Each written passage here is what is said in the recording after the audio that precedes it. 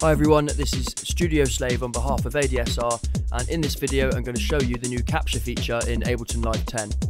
So in case you haven't seen me use it in any of the previous videos, we've got this square capture button up here and what this allows us to do is it allows us to capture any MIDI input which is record armed or input enabled. So you can see here this track is record armed or I could also input enable so it's now listening to the MIDI and likewise I don't if I press it now, you're not going to hear anything.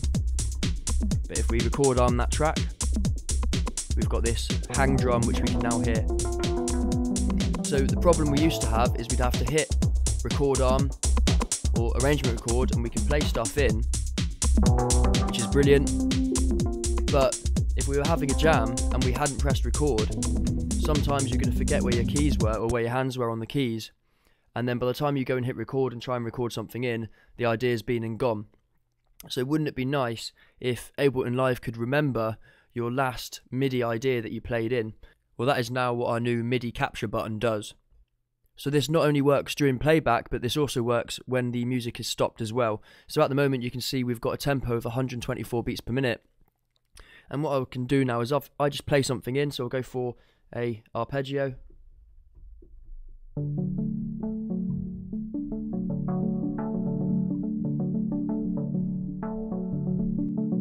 So now when I hit capture, it's going to capture the last played idea, which was my arpeggio, into the arrangement, and it's going to map that, so that's now 124 beats per minute.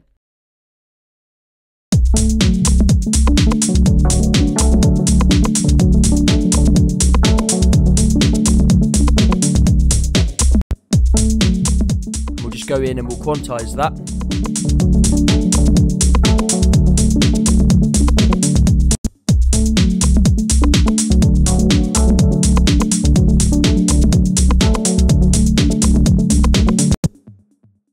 So this is brilliant. It now means that we can play in our parts and we don't really have to be too bothered as long as it's with MIDI. We don't have to be too bothered about what's going on with the recording because we can always recall the idea if we liked it rather than have to go in, working our way through our recordings and edit the MIDI that we've recorded. So let's just give that a go now. I'm just going to do a little jam and we'll see what happens.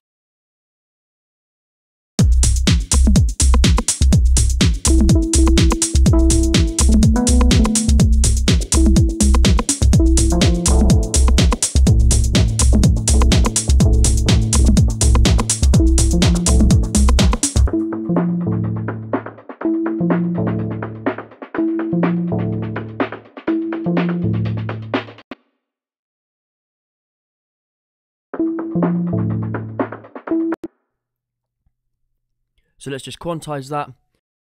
And what I'm going to do as well is I'm just going to pull these a little bit off the grid just because I want it to have a slightly sluggish feel.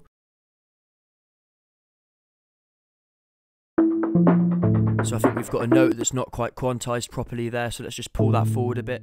So we now have our captured MIDI in place and it's edited, so I'm going to copy it across, let this play out, and that is now everything for this video on the new MIDI capture feature, and I'll see you in the next video where we're going to have a look at the arrangement view and arrangement view editing.